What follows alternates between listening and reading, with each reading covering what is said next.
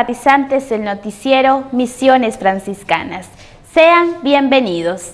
Comenzamos esta jornada encomendándonos al Señor nuestro Dios. Oremos. Señor, guarda a tu familia en el camino del bien que tú le señalaste y haz que, protegida por tu mano en sus necesidades temporales, tienda con mayor libertad hacia los bienes eternos.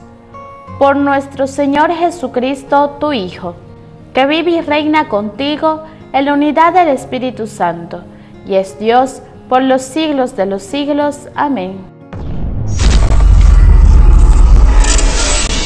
En día, viernes 16 de marzo, durante esta jornada, los jóvenes estuvieron dedicados a aprender sobre el amor a Dios, al prójimo y sobre todo el amor en la familia, las acciones de cómo demostrar su amor. ¿Cómo se ama a Dios y al prójimo? De esta manera lo explica el Papa Francisco. Un mandato de Cristo que caracteriza a los discípulos del Señor. Sería ilusorio pretender amar al prójimo sin amar a Dios y sería también ilusorio pretender amar a Dios sin amar al prójimo. Las dos dimensiones caracterizan al discípulo de Cristo y son inseparables. De hecho, se sostienen una a la otra, dijo el Papa desde una de las ventanas del Palacio Apostólico en un lluvioso domingo romano. El Santo Padre resaltó que amar a Dios es vivir de Él y para Él, por aquello que Él es y hace. Y nuestro Dios es donación sin reservas y perdón sin límites, en relación que promueve y hacer crecer. Por eso, amar a Dios quiere decir invertir todos los días las propias energías para sus colaboradores en el servir sin reservas a nuestro prójimo, en buscar perdonar sin límites y en cultivar relaciones de comunión y fraternidad.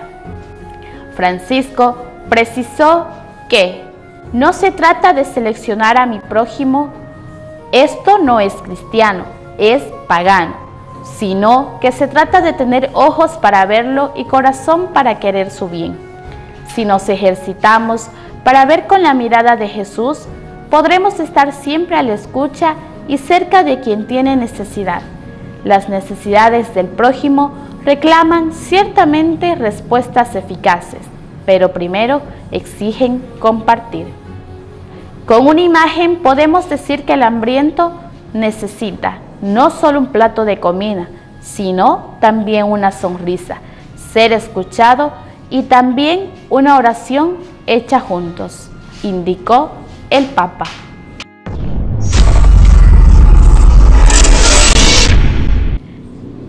El noticiero Misiones Franciscanas y todo el equipo de prensa se suma a los festejos, a las felicitaciones por el Día del Padre. Nuestros buenos y mejores deseos a todos ellos. Que sigan el ejemplo de San José como un buen padre. A continuación, escuchemos con atención el siguiente mensaje. Las palabras del Papa Francisco que nos da una enseñanza magnífica cargada de humanidad cuando nos dice, el sentimiento de orfandad que viven hoy muchos jóvenes es más profundo de lo que pensamos. Son huérfanos en la familia porque los padres a menudo están ausentes, incluso físicamente de la casa, pero sobre todo porque cuando están no se comportan como padres, no dialogan con sus hijos, no cumplen con su tarea educativa, no dan a los hijos con su ejemplo acompañado por las palabras, los principios, los valores, las reglas de vida que necesitan tanto como el pan. La calidad educativa de la presencia paterna es mucho más necesaria cuando el papá se ve obligado por el trabajo a estar lejos de casa. A veces parece que los padres no saben muy bien cuál es el sitio que ocupan en la familia y cómo educar a los hijos. Y entonces, en la duda, se abstienen, se retiran y descuidan sus responsabilidades. Tal vez refugiándose en una cierta relación de igual a igual con sus hijos. Es verdad que tú debes ser compañero de tu hijo, pero sin olvidar que tú eres el padre. Si te comportas solo como un compañero de tu hijo, esto no le hará bien a él.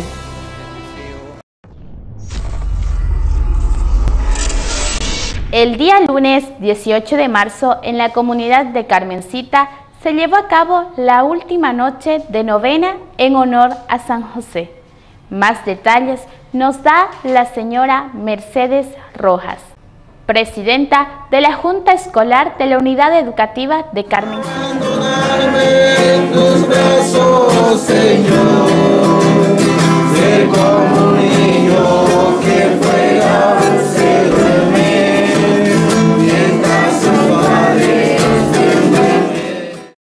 Este, bueno, este, en la última noche de novena, ¿no? Muchísimas gracias por estar aquí presente. Este, hoy nos queda el velorio, ¿no? Y mañana la fiesta. Coordinadamente con todos los padres de familia, la comunidad y los profesores. Así que decidimos invitarlo para esta noche para que puedan este, jugar con los, con los papás, ¿no? De nuestra comunidad y lo único que le pido es que derrame siempre sus bendiciones y que nos acompañe siempre para alcanzar un otro año festejando como hoy día, ¿no?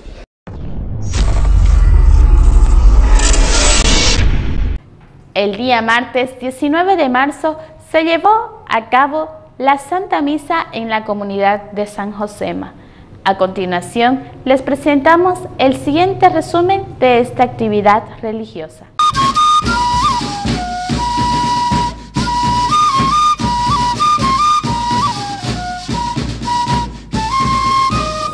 Felicitaciones por esta fiesta de 102 aniversario. Es una gracia del Señor.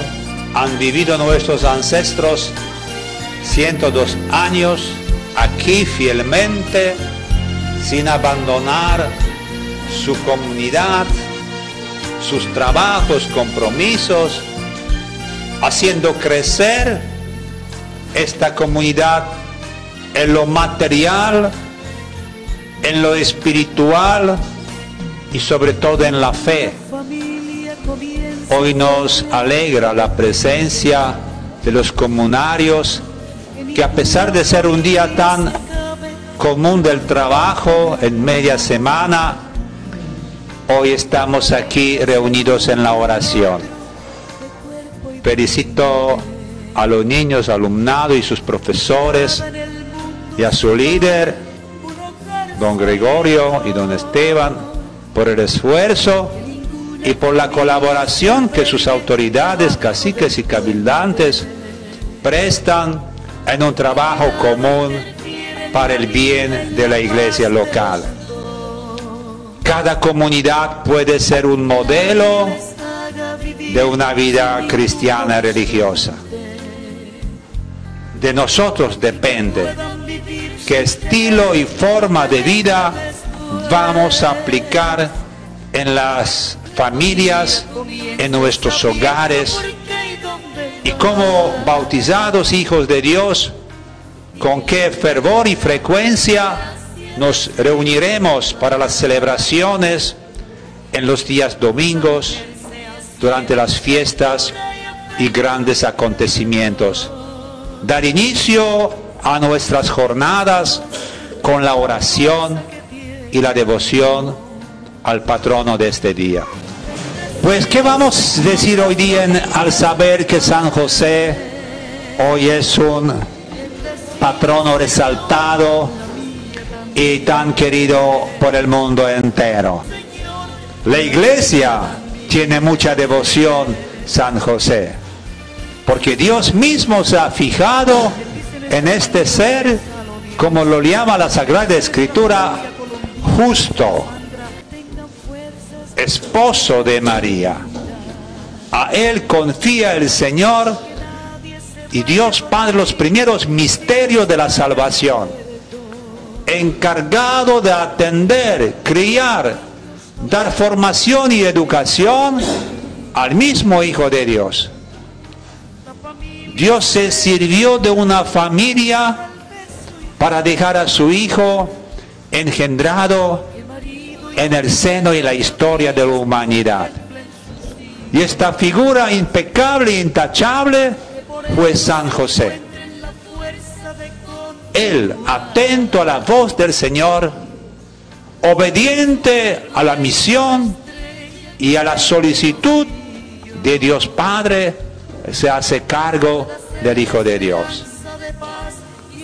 Y aquí los varones y hombres y padres deben ser santos, varones y justos en su actuar y vivir en la familia, en el hogar. Y esto lo esperamos.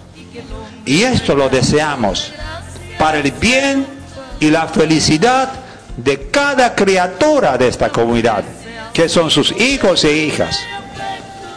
Qué importante, hermanos, llevar estos sentimientos. Y hoy también, sin despreciar el valor y el sacrificio de los hombres y varones de esta comunidad, quiero también felicitar a unas madres que asumieron este rol de educar a sus hijos, hijas, siendo madre y padre en la familia. Solas enfrentan la vida y los problemas y las jornadas cuánto aprecio deben tener en el cielo y en la tierra estas madres valerosas. Y cuánta gratitud y aprecio de parte de sus hijos e hijas, porque son las únicas que dan la cara por sus hijos e hijas. Hermanos, que Dios bendiga a todos. Claro, de repente Ningún padre, ninguna madre recibe estos reconocimientos suficientes en este mundo. Porque no hay cómo pagar un amor verdadero, profundo y sincero de un padre y de una madre a lo largo de la vida. La gratitud queda de por vida, ahora y siempre, y en la eternidad. Por quienes debemos orar y tener en la cabeza en memoria sus virtudes y su vida sacrificada. Queridos niños, llenémonos también hoy día de este profundo respeto a la vida familiar, a lo sagrado que es la vida, defendiéndola y protegiéndola. Ustedes saben cómo. Y también cómo ser sujetos a la voluntad de sus padres, cariñosos y agradecidos, atentos, amorosos, prontos también porque en la edad que tenemos, a ayudar, a colaborar en lo que sea, para que esta vida sea llevadera, agradable, feliz y bendita para la misma familia. Hoy el Señor hace esta convocatoria a todos y todas. Orar por el hogar y por los que lo integran. Padre, madre e hijos. Bajo la protección de la Sagrada Familia de Jesús, María y José. Así que a los papás en este día, Padre y Madre, un fuerte aplauso y felicidades.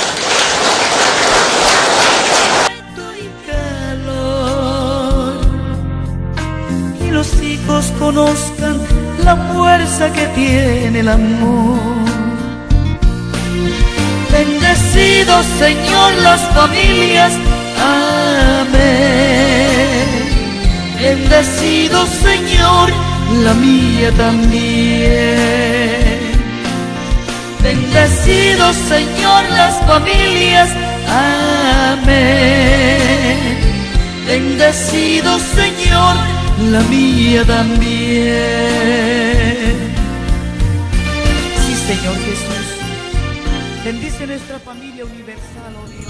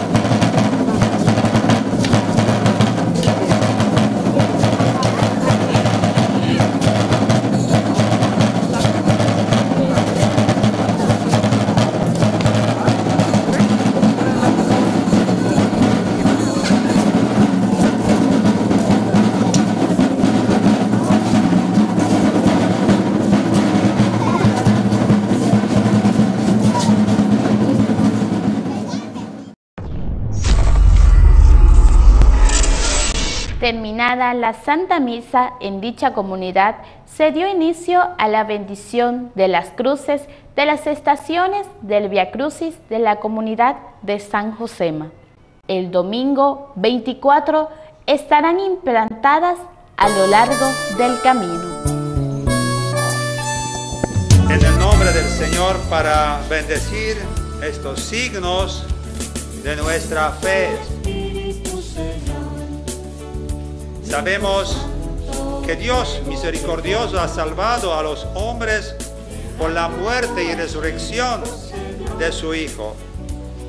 Él se anonadó a sí mismo y tomó la condición de esclavo, rebajándose hasta someterse incluso a la muerte y una muerte de cruz. Al recordar este inmenso amor de Cristo, nos sentimos nosotros motivados a recorrer con la mente y el corazón el camino de la cruz, lleno de agradecimiento hacia el Señor, que murió por nosotros en la cruz, y con el propósito de morir también nosotros al pecado y andar en una vida nueva. Con tu cruz, Señor, nos compraste para Dios. Todos, con tu cruz, Señor. Tú que al hacerte hombre nos mostraste en la cruz el camino de salvación, haz que unidos a tu cruz muramos contigo para poder vivir también contigo. Oremos. Con tu cruz, Señor, nos compraste para Dios. Tú que por la sangre de tu cruz hiciste la paz con todos los seres. Reúne junto a ti a todos los hombres, para que superada toda división, formen un solo rebaño y te reconozcan como único Señor. Oremos. Tú que prometiste que al ser clavado sobre la tierra y elevado, atraerás a todos hacia ti, haz que todos los hombres se conviertan a tu amor. Oremos. Tú que desde la cruz nos encomendaste a María, tu madre, en la persona del discípulo Juan, haz que imitándola a ella, tengamos parte en tu pasión y en tu gloria. Oremos.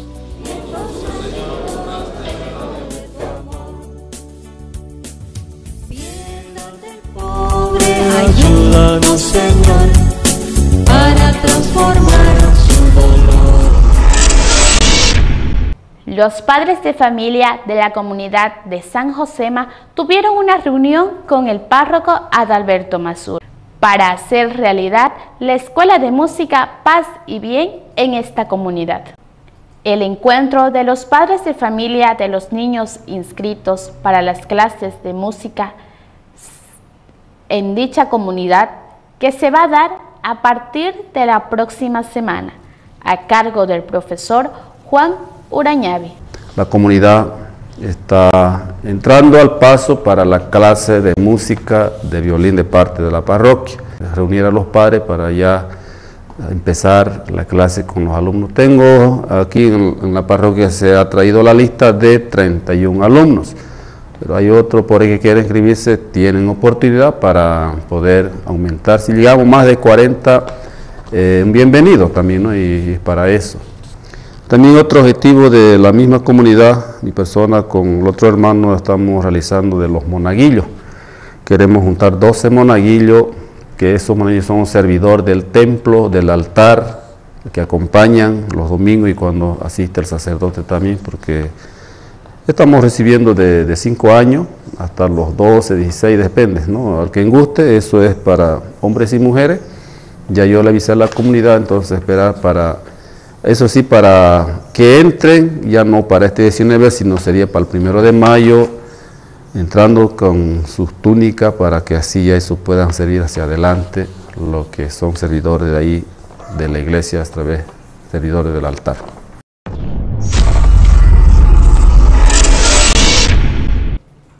Nos despedimos invitando a toda la feligresía ignaciana a participar de la Santa Misa a las 19 horas de la noche y los jueves con adoración al Santísimo Sacramento del altar. Invitarlos a ser partícipes de los Via Crucis en los diferentes barrios de San Ignacio de Velasco, los días viernes a partir de las 19 horas. Será hasta un próximo encuentro. Chapié, Churapa.